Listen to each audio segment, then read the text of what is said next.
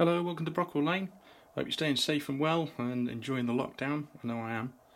I'm not really. I'm going a little bit crazy to be honest, um, but it has given me some time to get a job done, which I've been putting off for ages, which is wiring up these lamps on the station.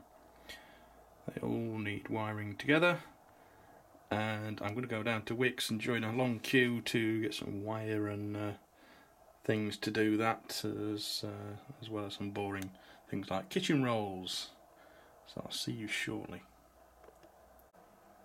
So back from Wilko's, I've got some of these connectors which they sell for about 90p, which are really useful.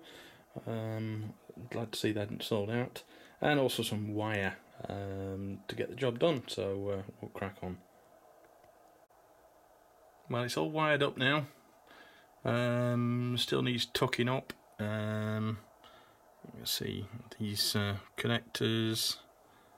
I don't like wiring. Maybe it wasn't the best way of doing it, but it's the only way I could uh, really manage it. So we'll see if they work. So the moment of truth. Do they work? Three, two, one. Yes, they do. Yep, they're actually all working. And even the fire. The fire has the glow beneath the wood there, like I planned, and it looks pretty much as I wanted it to. Really pleased with this now. This has been months I've been putting this off.